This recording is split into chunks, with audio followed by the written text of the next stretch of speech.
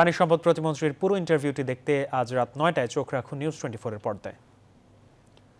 যাচ্ছি বাজার পরিস্থিতিতে। সপ্তাহের শেষে রাজধানীর বাজার পরিস্থিতি জানাতে যুক্ত হচ্ছেন সহকর্মী হাসান ওয়ালি। তার কাছে জানব সর্বশেষ পরিস্থিতি। ওয়ালি বাজারের নিত্যপণ্যের দাম কেমন দেখছেন? গত সপ্তাহের সাথে তুলনা করলে কি মনে হচ্ছে?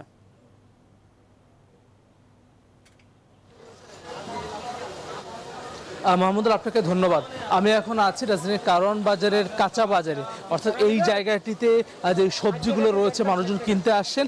গত সপ্তাহের তুলনায় যদি আমি আসলে তুলনা করতে চাই সেটি আসলে প্রায় প্রতিটি সবজিতেই কিন্তু বিশ থেকে তিরিশ টাকা বা তারও বেশি কিন্তু আসলে দাম বেড়েছে।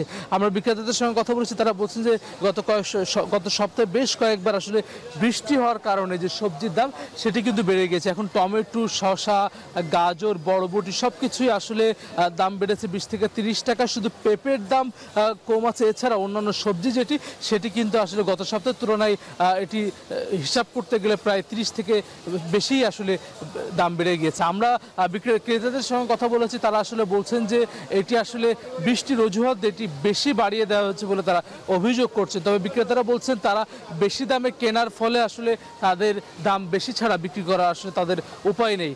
আর এর বাইরে আসলে আপনি জানেন যে আজকে মুরগি এবং ডিমের দামও কিন্তু আমরা দেখেছি বেড়েছে। সেটিও কিন্তু একইভাবে যে বৃষ্টির কারণে দাম বৃদ্ধি পেয়েছে বলে আমাদেরকে বিক্রেতাদের তরফ থেকে সেটি দাবি করা হচ্ছে। তো সব মিলে আসলে আজকে যদি বাজার পরিস্থিতি বলি, মাছের বাজার আর মাংসের বাজার কিছুটা স্থিতিশীল রয়েছে আগের দাম। এছাড়া সবজি বাজার, ডিমের বাজার এই মুরগি বাজার সব কিছুই কিন্তু গত সপ্তাহের ব্যবধানে বেশ সব জায়গায় আসলে দাম বৃদ্ধি পেয়েছে। তো সব মিলে আজকে রাজধানীর সবশেষ পরিস্থিতি আমার কাছে কাঁচা বাজারের মাহমুদুল।